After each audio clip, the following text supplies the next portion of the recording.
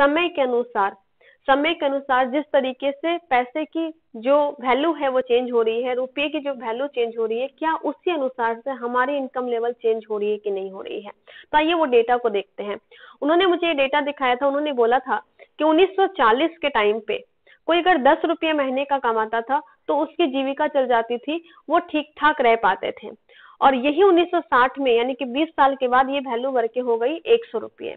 और जिस तरीके से समय बदलता गया 1980 में ये हो गए हज़ार रुपये 2000 के टाइम पे ये हो गया दस हज़ार रुपया। मतलब कि 2000 के टाइम पे अगर कोई दस हज़ार रुपये महीने का कमाता था तो उसका घर चल जाता था, जीविका चल जाता था। और वही अभी 2020 जिस जिस सदी में हम लोगों ने जिस टाइम में हम लोगों ने इंटर किया है, वो टाइम है 2020 का और वो वैल्यू बढ़ के हो गई है एक लाख रुपये। तो समय के अनुसार से इस तरीके से जो पैसे हैं, जो रुपये की वैल्यू है, इस तरीके से बदली है। और उसी टाइम पे 1940 की अगर बात करूँ तो 1940 में कोई एक आदमी था, जो कि चार रुपये महीने का कमाता था, वहीं पे एक आदमी दस रुपये महीने का कमाता था और वहीं पे एक आदमी चालीस रुपये महीने का कमाता था।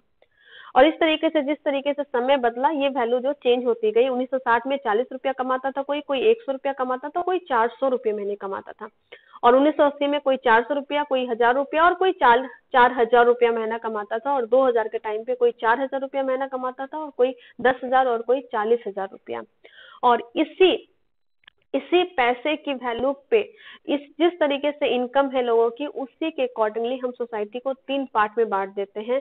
और हम लोगों ने ऐसे बांटा कि जो 1940 के टाइम पे चार रुपया और 2000 के टाइम पे चार हज़ार रुपया महीना कमाता है मतलब कि वो लोअर क्लास में है, वो लो क्लास में है। और कोई 2000 के टाइम पे अगर दस हज़ार रुपया महीना कमाता है 1940 के टाइम पे दस रुपया बस कमाता था, वो मिडिल क्लास में होता था।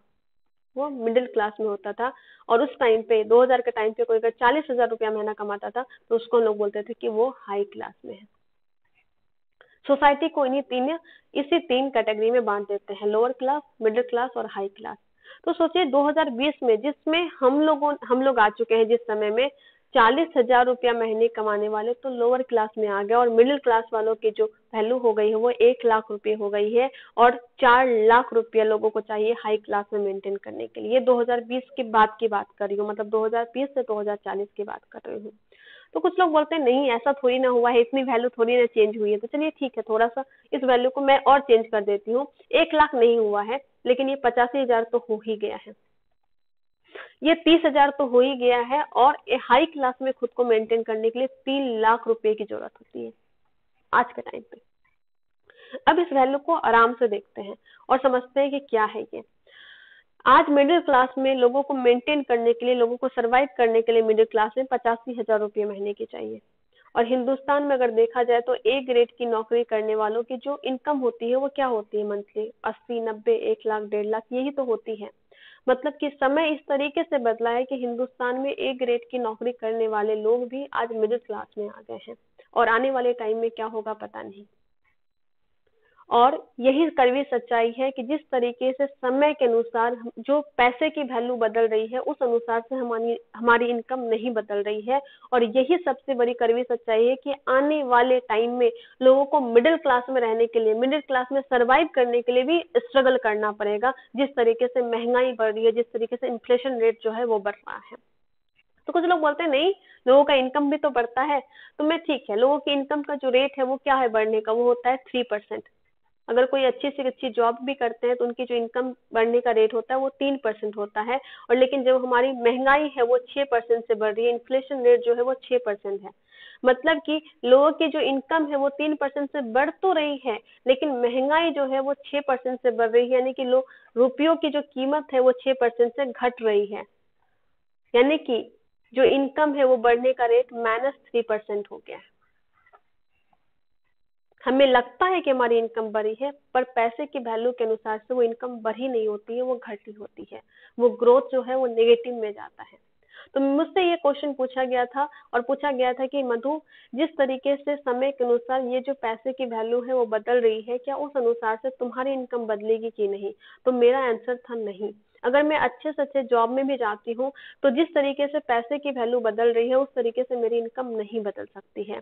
और ये तो मैं 2020 तक की बात कर रही हूँ। अगर उसके बाद की बात करें, यानी कि 2040 की अगर वैल्यू देखें तो 2040 में चार लाख रुपया महीने कमाने वाले लोअर क्लास में चले जाएँगे। जी हाँ चार लाख रुपया महीना, जो हम लोग बोलते हैं कि चार लाख, लेकिन वो चार लाख रुपया महीना कमाने वाले लोग लोअर क्लास में चले जाएँगे और उस टाइम पे 2040 2050 के टाइम पे लोगों को 10 लाख रुपया महीना चाहिए होगा मिडिल क्लास में सरवाइव करने के लिए। और मिडिल क्लास का सिंपल सा डिफिनेशन यही है, वो ठीक ठाक खा पाते हैं ठीक ठाक पहन पाते हैं ठीक ठाक स्कूल में बच्चों को पढ़ा पाते हैं ठीक ठाक हॉस्पिटल में इलाज करवा पाते हैं। ये सिंपल सा डिफिनेशन है। उनका ठीक ठाक में ही पूरा का पूरा ज़िंदगी चला जाता है। और एक चीज़ मैं और बोलती हूँ कि मिडिल क्लास को एक और डिफिनेशन जो मैं बोलती हूँ कि मिडिल क्लास वो लोग होते हैं जिनके पास ना समय होता है और ना ही पैसा होता है। ये कड़वी सच्चाई है। मैं सबका सम्मान करती हूँ, लेकिन जो पैसे की जो बातें हैं, जो डेटा है, उसके लिए बात करती हूँ कि क्या हो रहा है। मिडिल क्लास वाले लोग वैसे होते हैं, जिनके पास ना ठीक से टाइम होता है, ना ठीक से मनी होता है, ना ठीक से पैसा होता है। वो अपने समय को बेच देते हैं किसी दूसरे के पास, वो अपने समय को अपने काम में लगा देते हैं, बट वो काम भी उन्हें ठीक ठाक पैसा नहीं दे पाता है। तो उनके पास ज़िंदगी भर ना ठीक से समय होता है, ना ठीक से पैसा ही होता है। उनके पास इतना पैसा नहीं होता है कि वो अपने बच्चों को, वो अपने परिवार वाले परिवार वाले को हाई फैसिलिटी दे पाए और उनके पास इतना समय समय भी नहीं होता कि वो कहीं बाहर घूमने जा सके, एक एक दो महीने की वैकेशन पे जा सके। तो अपने पूरे के पूरे समय को वो दे देते हैं, फिर भी उतना पर्याप्त पैसा वो नहीं कमा सकते हैं। तो हम भाग तो रहे हैं, हम इस रेस में भाग तो रहे हैं, हम दौड़ तो लगा रहे हैं हम भाग रहे हैं, हम दौड़ लगा रहे हैं, पर हमारा जो लक्ष्य है वो काफ़ी दूर है। क्या हम उस लक्ष्य तक पहुँच पाएँगे कि नहीं, ये सोचने वाली बात है। तो मुझे भी लगा कि अगर मैं सिर्फ़ जॉब करूँ या मैं कुछ साधारण सा काम करूँ तो मुझे ये इस रेस में मैं कभी जीत नहीं पाऊँगी। मेरा जो लक्ष्य है, मेरा लक्ष्य ये वाला लक्ष्य पूरा नहीं हो पाएगा। मैं भागती रह जाऊँगी, पर उस लक्ष्य पर नहीं पहुँच पाऊँगी। तो आपसे मैं ये सवाल पूछना चाहती हूँ, क्या जिस तरीके से समय के अनुसार ये जो वैल्यू है, ये जो इनकम है चेंज हो रही है, क्या उसी अनुसार से आपकी वैल्यू चेंज हो रही है कि नहीं? आपकी इनकम बढ़ रही है कि नहीं? आपकी जो मंथली इनकम है, वो उस तरीके से बदल रही है कि नहीं बदल रही है?